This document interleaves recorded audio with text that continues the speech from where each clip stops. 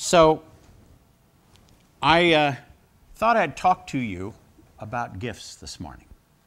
What can you give? I was telling Josh on the way here that I had a sermon that I gave about five years ago. Is this in the way?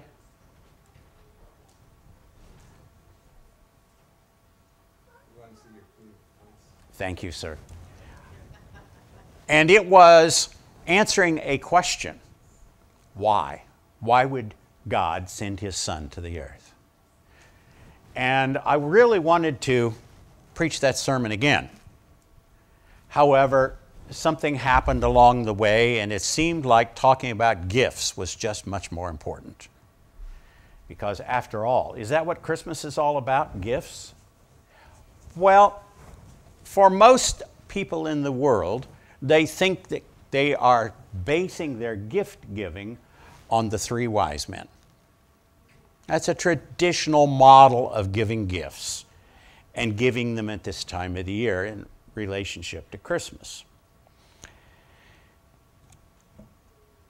The question comes to mind What's God giving you for Christmas? Or let's make it more important what are you giving God for Christmas? What does He want from us? What's on His list? A little girl, could have been one of mine, was sitting on her grandpa's lap, giving her grandpa this list, an enormous list of what she would like to have for Christmas when children can start watching TV and see all of those ads for presents, toys, or in my day, and some of you, about this time of year, a little bit earlier, Sears and Roebuck sent out the wish book. You remember the wish book? And I wished for a lot. Well, this little girl was sitting on her grandpa's knee, relating all of those things that she wished for. Grandpa thought this is a teachable moment. And all parents are supposed to watch for teachable moments when you can teach your children some important fact of life. So, Grandpa said, Sweetie, it is more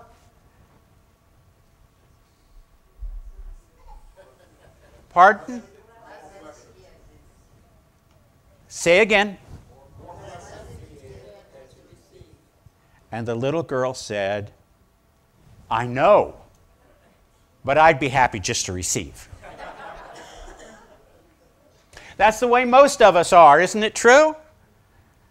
It's pretty true, I think, whether you want to admit it or not. What are you hoping to receive this Christmas? Don't tell me. American Express did a survey and found that the 31% of the people said that if they got a fruitcake, they'd rather have just gotten nothing. I don't understand it. I love a good fruitcake. How do people get rid of the gifts they get that they don't want? Regift, I heard somebody say. They say about 19% regift. You know, give it to somebody else. If you've got the time or you got the room to save it until next year or 21% take it back to the store themselves. Stores are pretty good about taking things back these days. 30% chose to hide it in a closet. I think one of the best ways to take care of those gifts that you don't really want is a white elephant event. You know, Give it to somebody else, and you get some of the junk they don't want in return.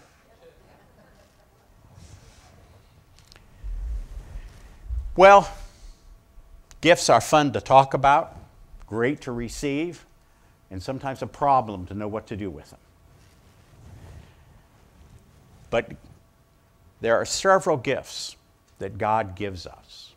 And as I went back through my notes, over the past years, I've had a couple of sermons on gifts that God gives us.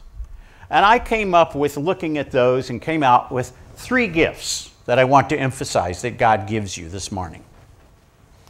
Probably, Dave, the best one, number one on my list was forgiveness. Amen. Amen.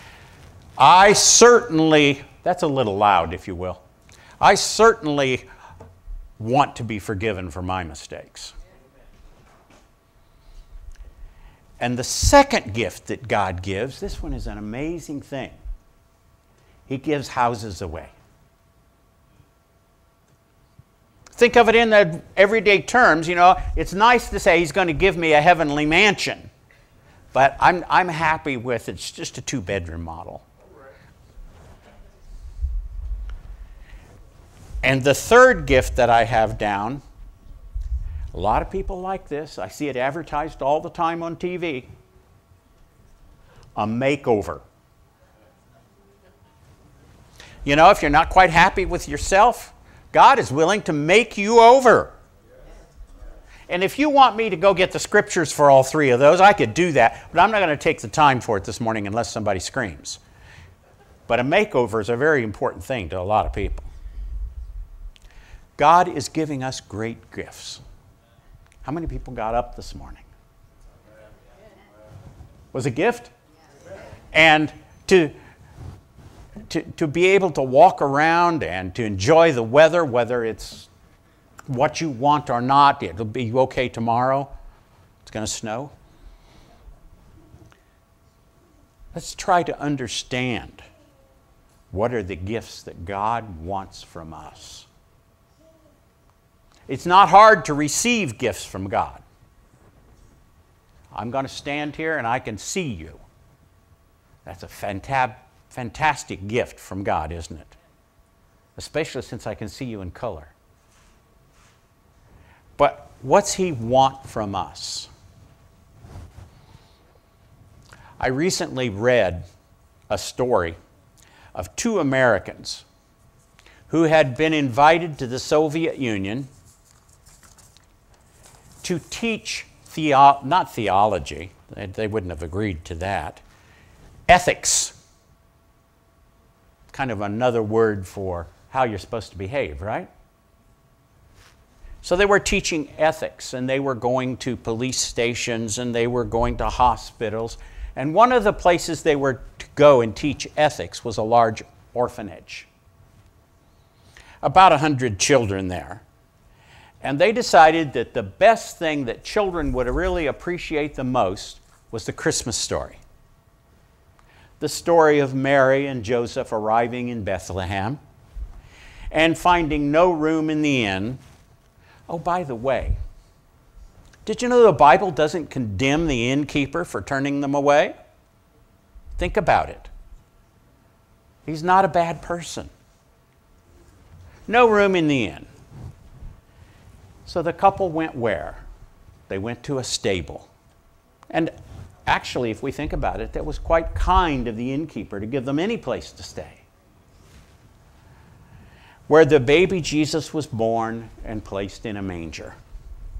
Throughout the story, the children sat in amazement hearing the story because these uh, storytellers were much better than Robert.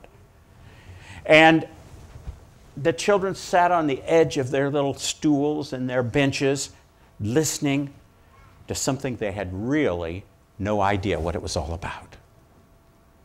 And to wrap up the story, these kind people from the States decided that they would have the children create a manger scene of their own. So they gave each child three pieces of cardboard from which to fa- fashion a manger. And then they gave each child a yellow napkin to tear into strips and make straw for the manger. And then they gave each child a piece of flannel that they cut out of an old nightgown. And they gave each child a piece of tan felt to cut into the shape of a little baby. Everything was going well. The children didn't have too many questions, they knew what to do, and they were doing it. And the American teachers walked around and looked and saw, yes, that one is good, that one is good, until they got to Misha. Misha had something different about his understanding of the story. And so, through an interpreter, one of the teachers asked, Tell me what's going on here. And so Misha could tell them about Mary and Joseph and Bethlehem and the manger. And he was doing very well. Mary had the, baby and put it in the manger, and then he started ad libbing. And he said, I looked down into the manger and I talked to Jesus. And he asked me where I had to sleep. And I told him I had no mama, I had no papa. Nobody would take care of me and give me a place to sleep. And in this story, Jesus spoke to Misha again, and Misha said, What if I got in bed with you to keep you warm? Would that be a good gift for you? And Jesus told him it would be a fantastic gift.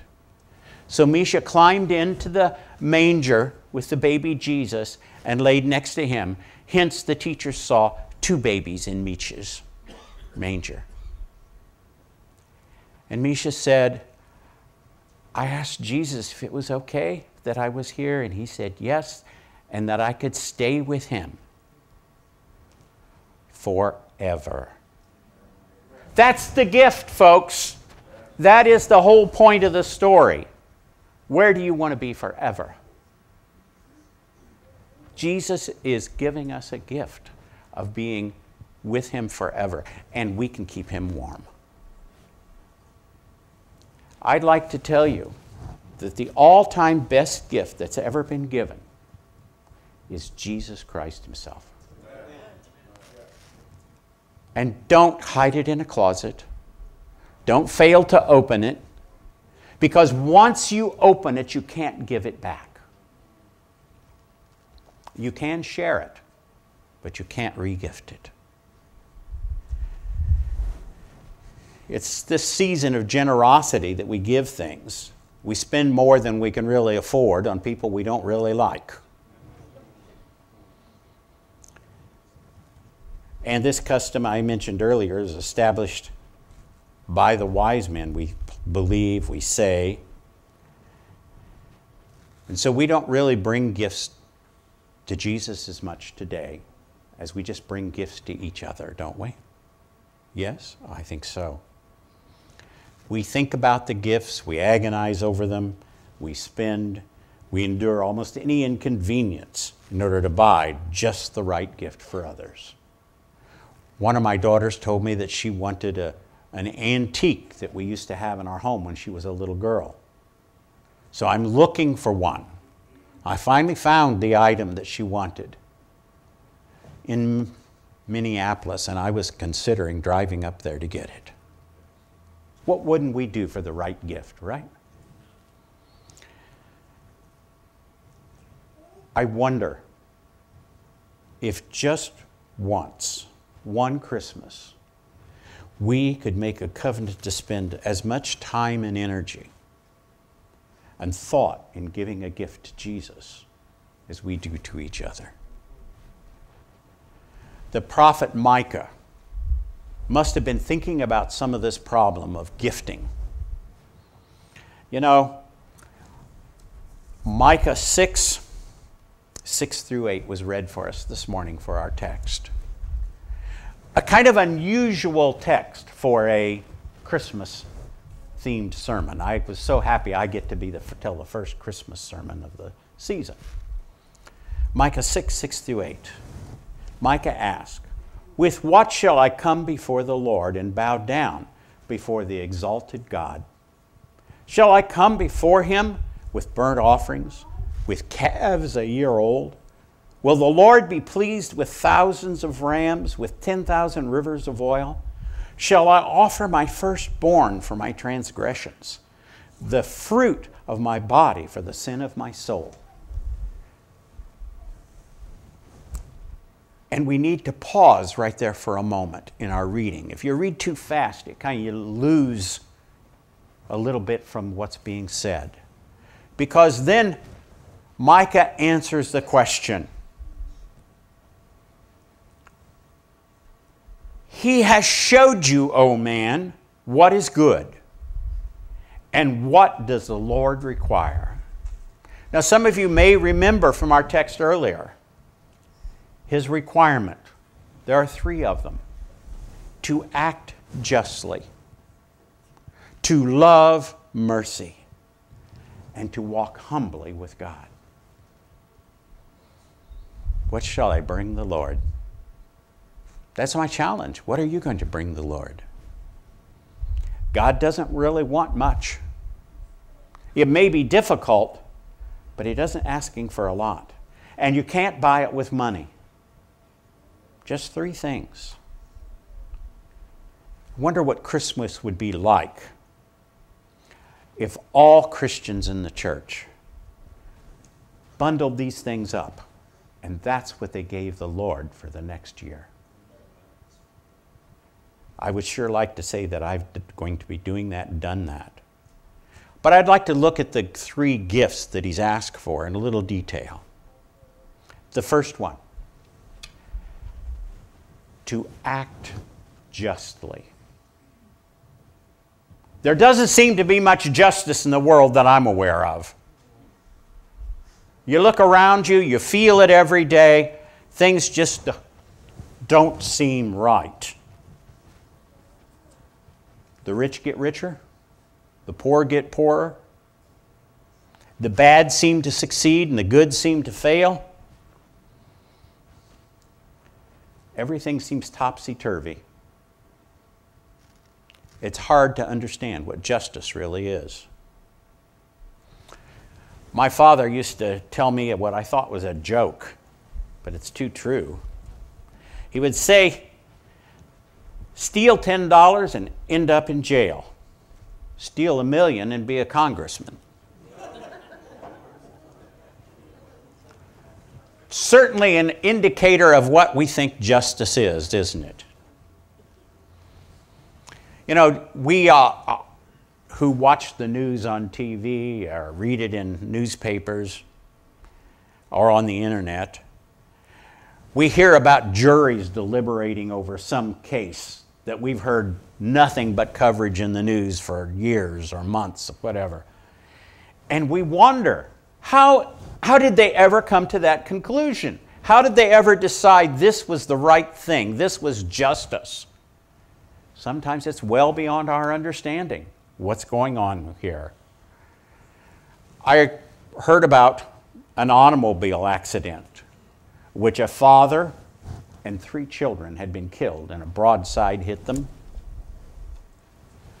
The woman driving the car that hit them was drunk. It, she was speeding. She ran a red light. Three people killed, family wiped out. And she didn't get hurt at all. Where's, where's the fairness and justice in that? There isn't any. There's so much in the world that isn't fair. You don't mind my switching to another word for justice, right? Fair. I'm going to suggest that you and I can wrap up a justice gift for the coming year that we can give to our Lord. Lord, we don't care what else the world may do, but as your people, we promise to be fair in our dealings with others. We'll always be honest in the things we say. We'll always be fair and just in the things we do. I don't know if I can do this one. We won't complain. We'll not argue or fight with one another. I know the next one's hard for a lot of people. We won't gossip. We'll always be fair. What would it be like if we could all take that pledge on just and fairness and keep it? It's one thing to take a pledge, it's quite another to keep it, isn't it? God told Micah the second thing he wanted was mercy, to love mercy. Mercy is a, a terminology that most of us don't get too much in our everyday use. You don't feel merciful towards other people too often. So I thought of another word I could use for mercy kindness. Are you kind? Of course you are, right? That's asking you. Let's ask the people around you. Are you kind? I think you can express mercy to God's children through acts of kindness. It's hard to find kindness today. So many people are unkind, right? Have you ever been treated unkindly? Have you ever treated anyone unkindly? Of course, you don't have to answer those rhetorical questions. Have you ever had that sinking feeling inside when you feel that people don't really care about you? In fact, I know that some of you have told me you did. What about rejection? How's it feel to be rejected? Think about the lepers in the New Testament. Wherever they went, they were shunned. People ran away from them. People said mean things to them. Their families would have nothing to do with them. And it is easy to say, yes, but there was a good reason to stay away from them, you know, to shun them, because I don't want to catch leprosy myself. We know today that it wasn't contagious, but people thought it was and it was a nice, good excuse to be unkind. You know, some people just enjoy being unkind. Seems to make them feel good. But yet, when Jesus came along, he treated them with kindness. What did they get for his kindness? How does it expressed? He healed them. He didn't run from them. A doctor I read this story. He was living in Colorado, just outside of Denver. He was driving home from a meeting with other doctors and hospital administrators, all of those kinds of people. And he was stuck in traffic. And all of a sudden, his car started lurching and the engine was running rough. And he thought he was going to get stuck right there in the middle of the main lane on that freeway. But it held together enough, and he got off at the next exit and he coasted down that exit to a filling station. Well, he parked the car in an area out of the way and started to go inside to make a phone call, to call for a ride and to call for a tow truck to pick up the car.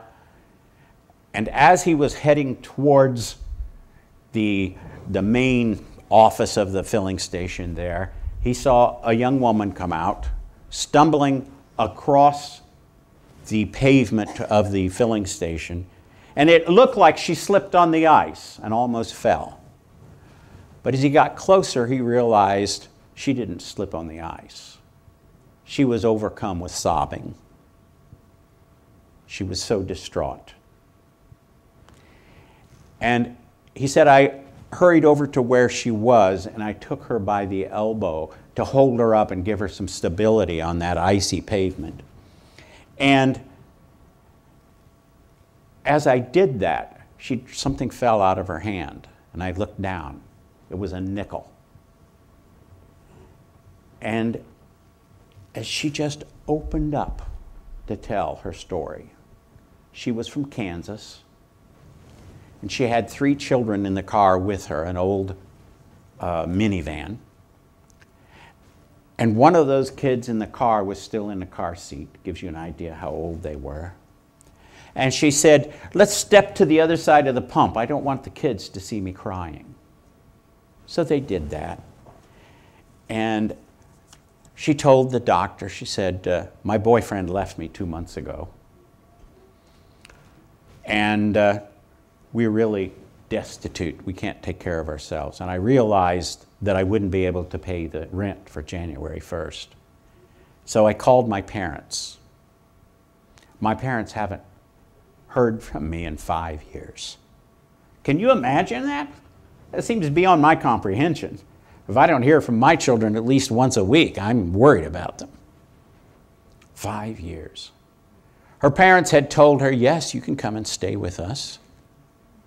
And so she had packed everything she had in the minivan, including the three children, and was headed for California. I don't know how far you can get outside of Denver on a nickel, but she was going. And so when the doctor heard the story, he said to her, So you prayed, and God sent me. And she stepped back away from him. Who's this crazy guy?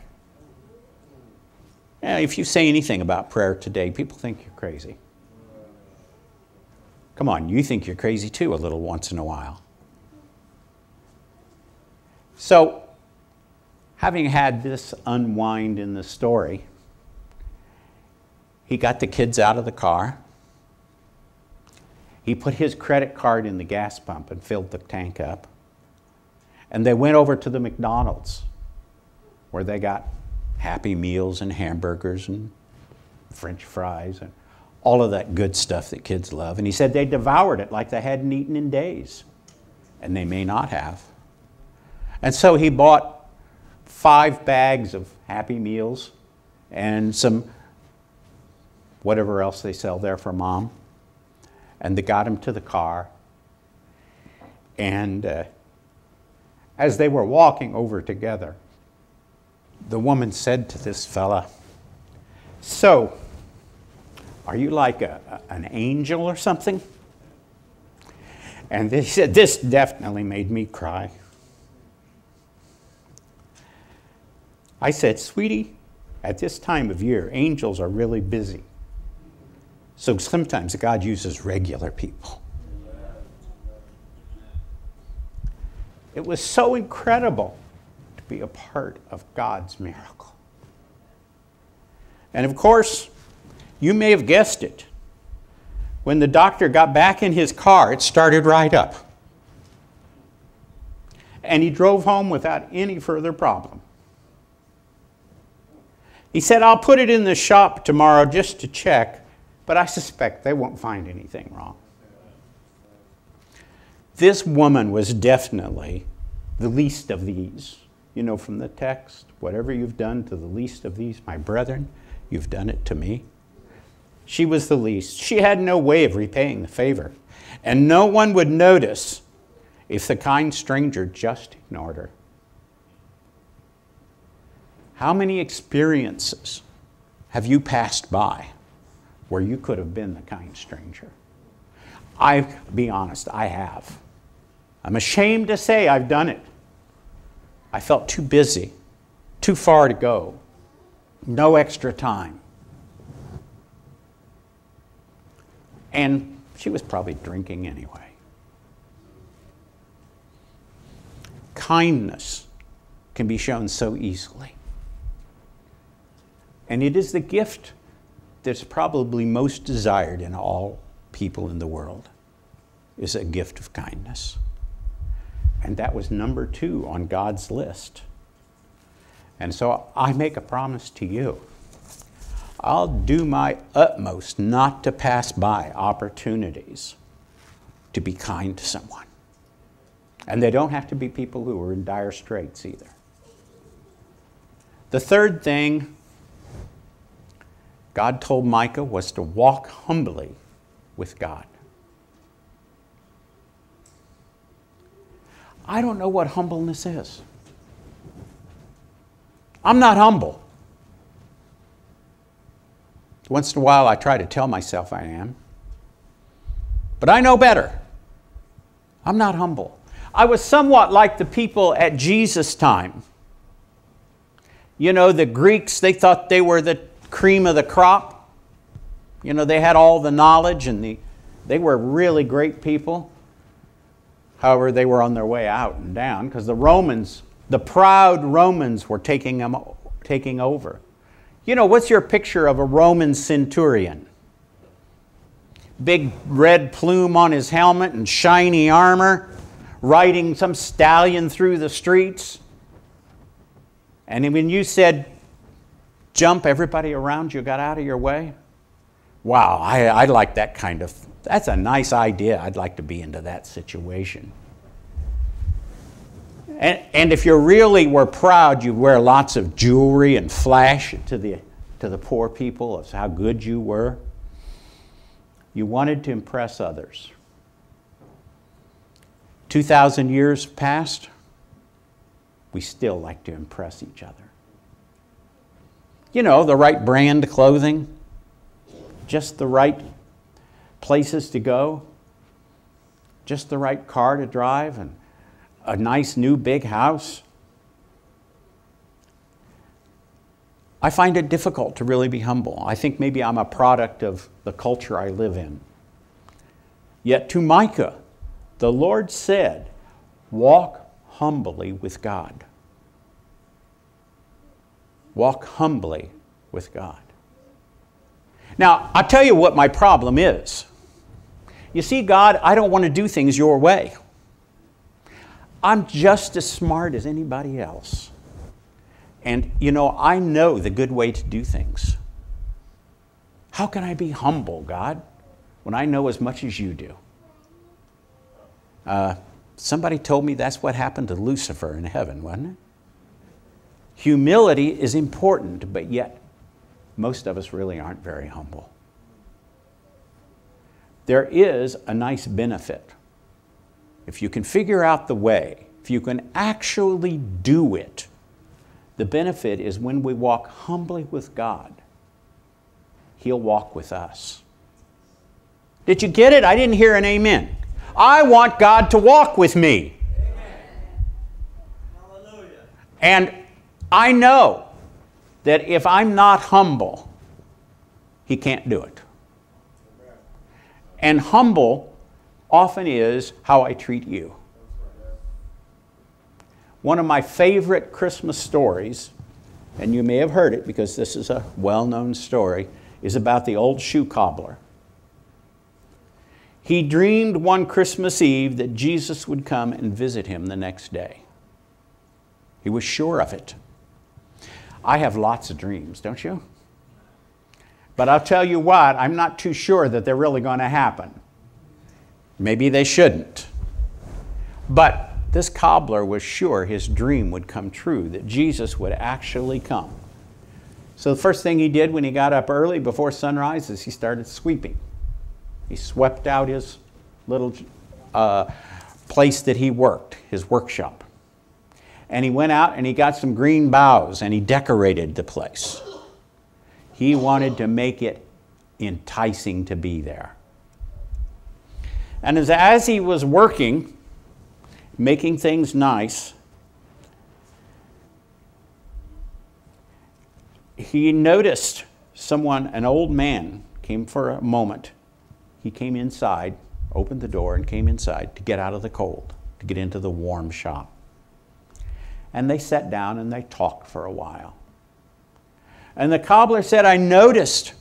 We crossed his legs and there was a great big hole in the sole of his shoe. He couldn't get warm that way, that was for sure. So the cobbler said, I reached up on the shelf and I got down a pair of shoes in his size. And I went to another bin and I got some hand knitted wool socks. And I gave them to this man and I, he put them on and I bid him go on out into the cold again and continue on his way with warm feet. And as I, the cobbler was busying himself with the cleaning and the getting of things ready, he put a bowl of stew on the stove to cook for the noon meal. And he looked outside and there was an old woman, poorly dressed, And he invited her in. She hadn't had a meal in two days. They sat and visited a while, and he finished preparing that stew and gave her some to eat. And then she went on her way to where she was going. Then, as he was sitting there and waiting sometime in the middle of the afternoon, he heard a little boy outside crying, right out in front of his shop. He went out and talked with the boy and discovered that the boy had gotten separated from his parents. He was lost. And he didn't know how to get home. So the cobbler put on his coat, took the boy by the hand, and led him home. And when he got back to his little shop, it was almost dark. The streets were empty. And then, in a moment of despair, he lifted his voice to heaven and said, Oh Lord Jesus, why didn't you come? Then, in a moment of silence, he seemed to hear a voice saying, Oh, shoe cobbler, lift up your heart. I kept my word. Three times I knocked on your door. Three times my shadow fell across your floor. I was the man with the bruised feet. I was the woman you gave to eat. I was the boy on the homeless street. Jesus said, Come. The cobbler didn't realize it. And I'm not saying there was anything wrong with him. It was his humbleness that allowed him to have those three wonderful experiences when Jesus came to his shop. So, God is asking you for three gifts. No money needed. You don't have to go to the dollar store and buy anything. Everyone here can give God that gift, all three of them, before you even leave your pew. We can bring them neatly wrapped and place them at the feet of Jesus. Or you can. You can make a covenant with Him to give all three gifts all year long, not just today, not just on Christmas morning. And I suggest that if you start that this Christmas, this may very well be the best Christmas you'll ever have.